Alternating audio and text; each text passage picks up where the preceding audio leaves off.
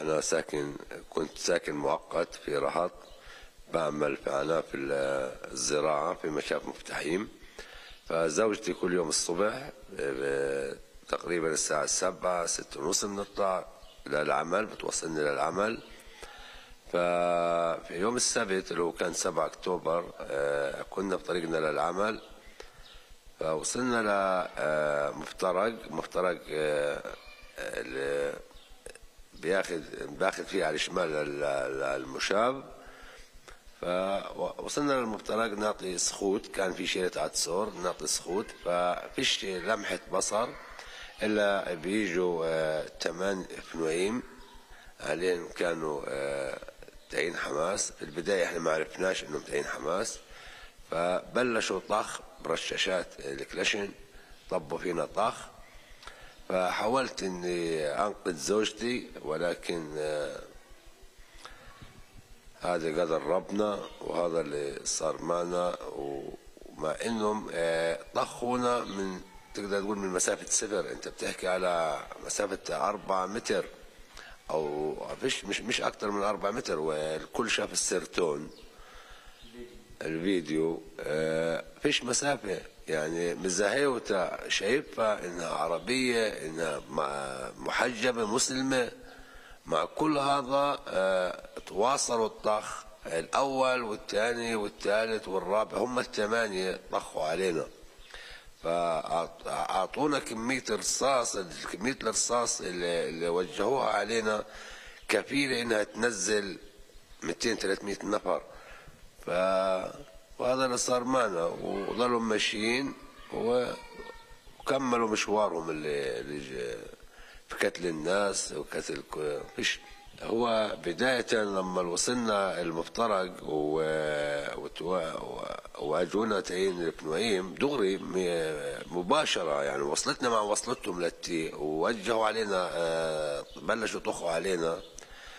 فيما بعد ضلوا هم ماشيين في طريقهم يصفوا في السيارات في طريقهم. فزوجتي على المحل بتحكي لي حمد أنا حاسه رجلي مش مني حاسه إشي في رجلي. فبطلع في زوجتي زوجتي كبار على إيدي فاهم؟ فبطلع في زوجتي على اي على أي رجل أنت بتحكي. انت الراس كله مرساك. ماكل اطلاق في راسها في كتف في الشكت اليمين كمات كلها الشمال كلها كانت كمات كلها ماكلة فيها اطلاق لغاية رجلها من تحت كفة رجلها كانت ماكلة فيها رصاص. فعلى معرفتي وعلى وشفت للإصابة لزوجتي عرفت إنه حتى لو كان الإمبلانس ماذا لو كان قريب عنا ثلاث دقائق مش هيقدر ينقذ حياتها لأنه الإصابة كانت خطيرة من مرة من مرة الإصابة وأنت بتحكيش على طلق أو طلقين أنت بتحكي على رشاشات انطلقنا علينا على عدة إطلاق اكلتها زوجتي فمباشرة عرفت إنه زوجتي رايحة تستشهد فيش مجال حسب الإطلاق حسب الرأس حسب بديش أنا أحكي عن شفتها فقد الوعي؟ حتى الآن هي كانت أول يعني قصة قصة دقيقتين وفقدت الوعي. مش أكثر من دقيقتين. لأن عرفت إنها تفقد الوعي حسب أنت بتحكي على رأس من مرة. فيشاء دغري مباشرة نطقت الشهادة. فنطقت الشهادة ברור واضح جدا. نطقت الشهادة أربع مرات والخامسة استشهدت. فإلا دغري مباشرة لفيت على الباب الثاني ونيمت الكرسي مليح وقعدت على الكرسي مليح واتصلت لل لل ambulance اتصلت للبوليس. إلا بيحكوا لي وين أنت موجود؟ قلت لهم هيك من هيك شيعت لهم بكوم فأطلت قال بنوصلك إن شاء الله بنوصلك. ف حاولت أتلفن كمان عدة مرات قالوا له حمد أنت بتحكي إحنا الوضع صعب جدا آه أن إحنا بنحاول إن نوصلك بقدر المستطاع إن نوصلك أما في إيش لأنه هربي هروقيم הרבה פצועים. قلت لها شوفي أنا الهاروجيم والبوتسيم أنت بديش بديش إياك تحكي لي ان تقولي لي في هربيه هاروجيم وهربيه بوتسيم الهربيه الهاروجيم والبوتسيم أنا شايفهم قدام عيني يعني. قدام عيني أنا شايف كل ال- كل كل ال סרט شايف قدام عيني طاخ أبو واقف مش فيش حدا بيملص منهم. شلتوه على العتيف آه، كانوا بلفوا في العتيف مستوفين في العتيف وكأنه آه، بلف في في داخل غزة يعني في داخل داخل السجاعية يعني. ماخذ أريحية ما ما يعني الخوف معدوم عنده.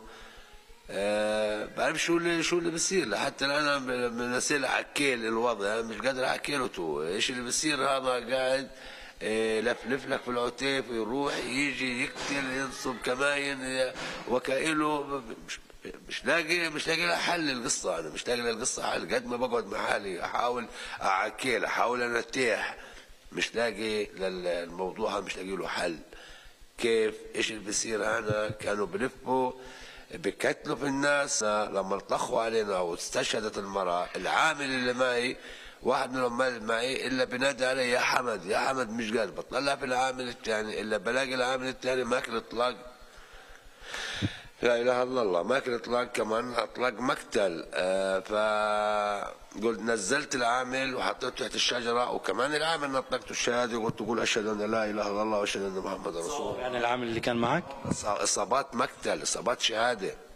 واستشهد فيما بعد العامل كمان. فجيت لابني الصغير.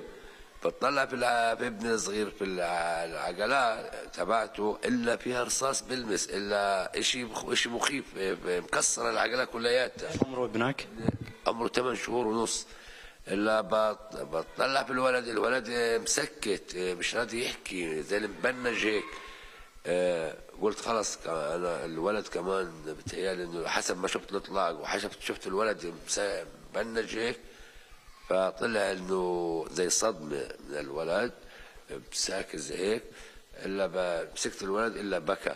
أما الولد بكى عرفت إنه لا كويس فقدت الولد ما فيش فيه ولا شيء الولد إلا شظايا في كتفه. أكل ثلاث شظايا صغار رصاصين في كتفه. فأخذت الولد ونزلت. آه، الحين اجى مع جية تندر. فيها فيها واحد من الجيش الإسرائيلي. فبحكي لي شو اللي صار شو فيه؟ قلت له القصة واحد اثنين ثلاثة.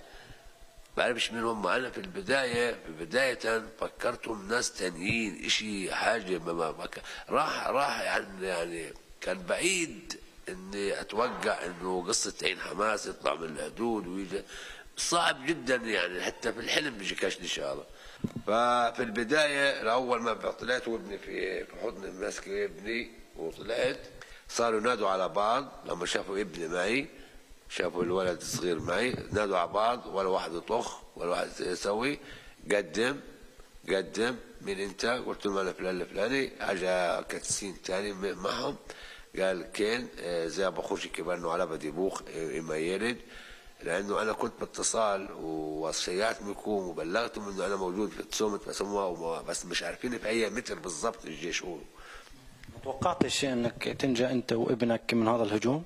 ولا كان عندي أمل صفر في المية. أنا بقول لك اخترت اخترت لموتي أنا اخترت إني أموت طخ مش تفجير.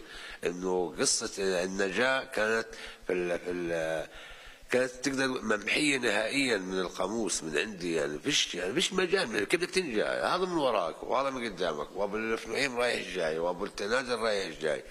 آه، فيش حدا فيش إيش فيش إيش تتخبى فيه فيش ملج إيش إيش آمن تقدرش تشرد تقدرش تلجأ تاخذ سيارة فيش مجال فيش مجال. أنت موجود في نار أنت موجود في نار وراك نار قدامك نار جنبك نار تضمنش تطلع متر يلقوك ما فيش مجال كان فآخر شيء يعني النجاة كانت صفر فوصلت فيها الدرجة اني أقول لابني أبو ثمان شهور أبا قول أشهد أن لا إله إلا الله محمد رسول الله.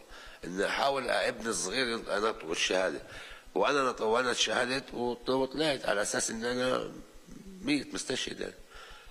فربك لطف وما رادش أراد انه أطلع اربي هالسبع بنات اللي عندي.